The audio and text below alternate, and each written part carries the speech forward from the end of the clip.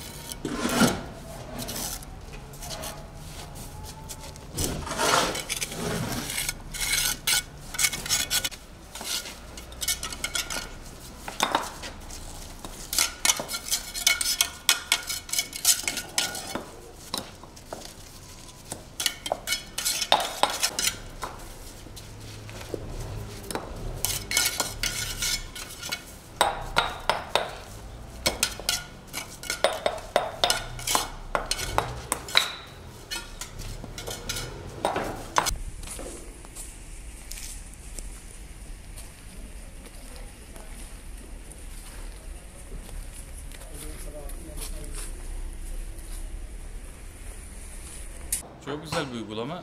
Normalde de zaten yapılması gereken bir şey. Çünkü e, yağmurdan dolayı çökmeler oluyor. Onun hemen anında müdahale edilmesi gayet güzel bir şey. E, kutluyorum. Çalışmaların devamını bekliyorum.